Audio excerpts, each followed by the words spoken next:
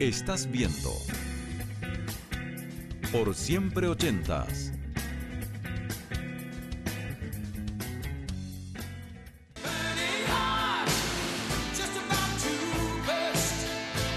Por siempre ochentas. Y de regreso después de nuestra pausa comercial. Y bueno, siguiendo un poco el, el tema. Seguimos acá, Oscarito. Eh, también recordemos cosas buenas, cosas buenas. Yo creo que esas son las cosas más importantes que hay que recordar. Pero antes quiero mandarle saludos y cariñosos saludos para, para las 21 familias Sí, sí, que están sufriendo en este minuto, en especial a, a nuestra querida eh, Silvia, eh, que es de Concepción, que es de nuestra zona, su familia, cariño sus padres, eh, a sus hermanos, sus sobrinos que están sufriendo mucho, así que mucho cariño para ella. Y bueno, eh, recordemos también eh, una gran cantidad de programas que tenía Felipe. En realidad su haber tiene 16 programas, imagínate, en todos Partió estos en extra joven. extra jóvenes junto a la Catherine Salosny, su Su gran amor, su gran amor, su, pareja de toda la vida.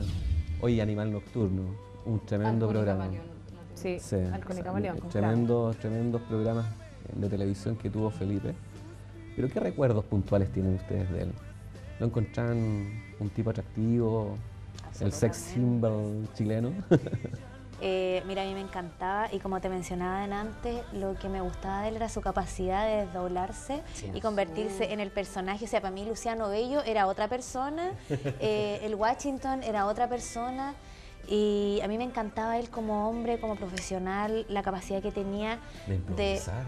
Tam- sí, y yo creo, se dijo mucho durante la semana, que él era igual como estaba en el estudio, a cómo compartía con, con el resto del público, con la señora que hacía el aseo, con la señora de Lo que afuera. pasa es que él como persona, dentro del canal, dentro del programa y fuera del canal, era exactamente igual. Los que tuvimos la oportunidad de conocerlo, era así. Sin embargo, su equipo, el entorno, fue lo que, lo que lo llevó en realidad un poco a distanciar a la gente. Pero él, teniendo oportunidad, siempre, pero siempre, eh, se bajaba del auto a ayudar a alguien. O sea, eh, tenía una, una- una personalidad completamente pareja. No era bipolar. A mí me sorprende, me sorprende conocer este lado de, de Felipe porque tomando la pregunta misma que tú planteaste, eh, debo ser honesta y a, a mí no me gustaba Felipe Camiroaga. Eh, Pero no te es lamentable decirlo ahora, pero no me gustaba así como que de repente ponía en duda y decía así como tanto poder, así como eh, muy rostro. Pero fíjate que es lo que uno aprecia desde afuera como televidente. Exacto. Nunca tuve la oportunidad de conocerlo en persona. Y sin embargo, ahora que no, que ya no está, las personas que lo rodeaban hablan muy bien de él. Exacto. Y eso habla muy bien de Ah, él. Es que hay muchas que las cosas otras personas den testimonio eran de su persona. privadas, completamente privadas. Exactamente, eso me llama la atención, que se- todo se- lo que era izquierda hiciera lo Sí, que hacía tu se utilizó mucho ese dicho que Sí. decían la mano izquierda de él no sabía lo que hacía la derecha. Exacto. Sí. Es que yo creo Entonces, que es como y eso todo me ser sorprendió ser muchísimo. también. Debiera ser así. Debiésemos Oye, pero ser ¿qué les parece si vamos a un recuerdo de Felipe? Ya, para ya, distender el Vamos a ver esta tremenda parodia que para mí fue espectacular junto a la Karen Dogenbailer.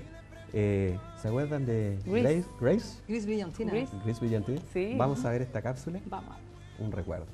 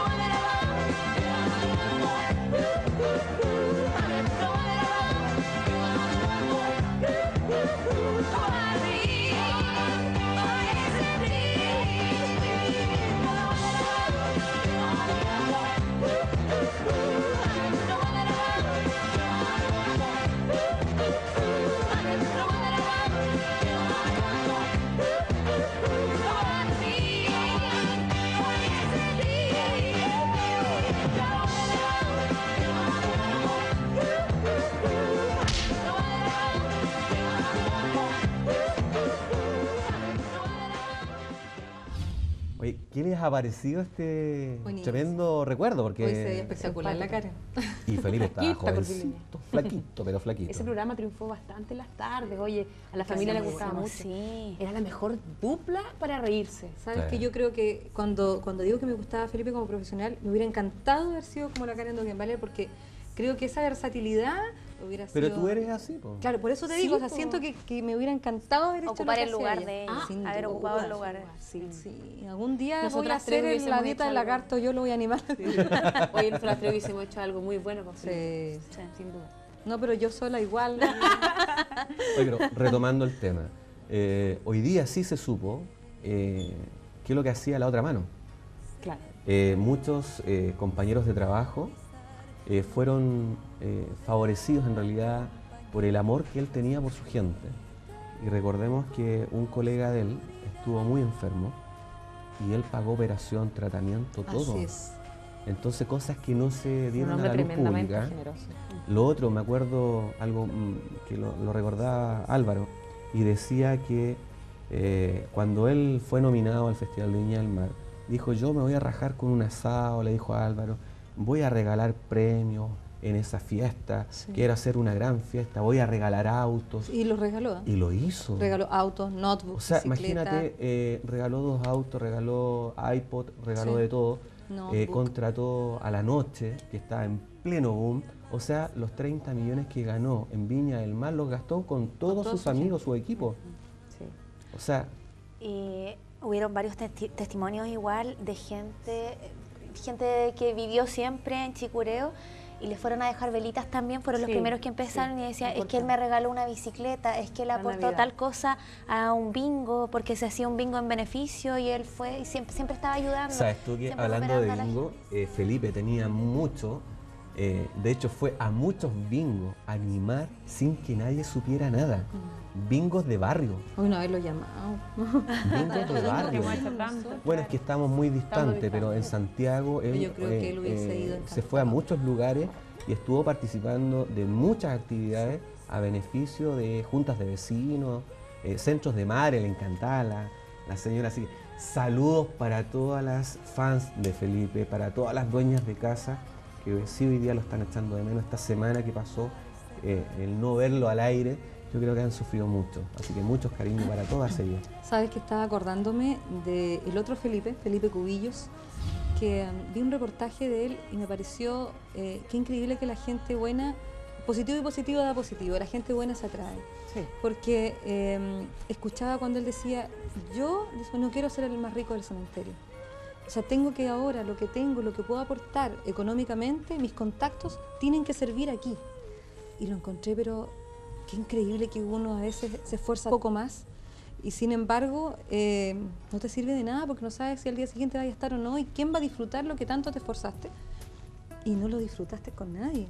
Entonces, eh, siento de que, y me, me hace mucho sentido eso, encuentro que fue muy bonito lo que, lo que él dijo, yo no quiero ser el más rico del cementerio. Pero yo creo que, mira Nani, yo creo que estamos, estamos ante una persona excepcional, así de frentón, Eh, porque hoy día nos entrega una tremenda enseñanza lo que estás hablando tú.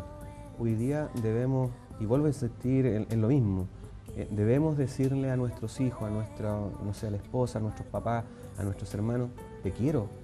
Aprender a decir te quiero, aprender a vivir la vida, disfrutar el día a día y no, como dicen algunos, eh, llevarse toda la plata al colchón, al banco y, y sin entregar ¿Qué una dejaste? ayuda o, o qué dejaste, ¿cachai? ¿Qué O sea, legado el legado de ellos es enorme y yo creo que ellos van a mover muchos corazones para que hayan personas eh, que los puedan seguir imitando, personas en su misma Bueno, yo, yo, yo reconozco, fíjate, yo reconozco que para mí, para mí Felipe es una persona que, que- que me entregó muchas cosas eh, en lo profesional. He copiado muchas cosas de él. De hecho, yo ya llevo alrededor de 18 años animando Teletón. O sea, eh, es una cosa que, bueno, me nació, pero yo he copiado muchas cosas de él. Cosas buenas, por supuesto. Eh, me, han tonteado por ahí de repente eh, algunas vestimentas, son muy similares, pero no es porque quiera copiar el tema de la vestimenta, es porque lo encontraba que se vestía muy bien. Que es un modelo a seguir. ¿no? Exacto, Sí. por supuesto que sí. Sentaba precedente. Bueno, y ustedes han participado en distintas teletones, tú estuviste eh, también Ah, en, sí. en- en el tema del, ter- del terremoto, estuviste Sí, en las sí. costas. Se amor a toda costa. Fue muy bonito eso también. En Dichato, a propósito de las costas, igual eh, hicieron una velatón Exacto. para recordar a Felipe Cubillos, que hizo tanto por las caletas. Fíjate que Felipe, eh, en una de, la- de las notitas que mostraban después del, del accidente, as- aparecía en, en una, en una cámara de televisión diciendo que los empresarios en realidad, era, era un mensaje que él enviaba a los empresarios y decía que en realidad sí se puede hacer más y sí se puede ayudar a No, los por demás. supuesto que sí, se puede hacer Entonces, mucho. Te lo dice un empresario y tú estás consciente de que así Un funciona y que lo llevas a la práctica, además no se queda solamente en el Es discurso. una cadena de favores. Sí. ¿Qué les parece si vamos a un recuerdo y se lo vamos a dedicar con mil amores a la gente de Chato, de Penco, Talcahuano? Vamos a este recuerdo que nos hizo reír pero montones. A ti te encanta. Vamos a ver esta cápsula, un gran recuerdo para Felipe, el Washington. ¿Qué son estas cuestiones? ¿Cómo que? ¿No sabéis lo que es esta cuestión, Fonola? No. Este es un compardispo. ¿Qué? Oye, que está bueno. Eh, señoría, ¿verdad que, que canta Chaco Camiroaga? ¿Quieres compartir? ¿Qué va a cantar? Chuca. ¿Y es cantante, es decir? Sí, que hace cantar, yo creo que es un puro. Chuca, compadre, si yo sé, yo conozco la tele.